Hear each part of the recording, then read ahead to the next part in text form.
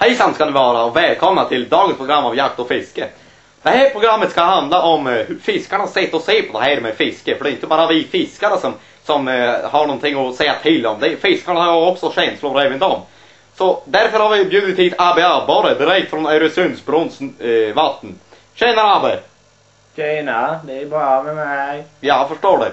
Eh, hur, hur, eh, när man ser att man är ute och fiskar kanske en lördagskväll så ser man att det nappar till lite så här, det pirrar ju fi, i, i fiskarna hemma. Men för er fiskare, abborre till exempel, hur känns det när ni hugger tag på, på eh, masken det? Ja, det är kanonbra.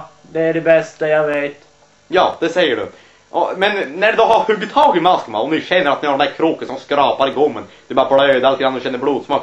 Är det som en tävlingsinstinkt att jag måste komma ifrån eller känner du det härligt att bli uppfångad? Det blir härligt när man blir uppfångad tycker jag. Det är det bästa som finns. Ja, du tycker det. Eh, ja, sen när man kommer upp i båten, här blir lite slagsmål och sådär. Eh, ger, ni, ger du, gör lite sprattelryck för att styla till det lite grann eller? Ja, och det gillar jag. Det är det bästa med det hela. Ja. Eh, och så då sista frågan.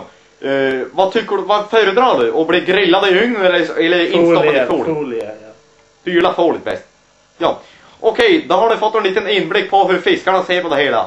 Sista ordet då. Fortsätt fiska. Det är bra.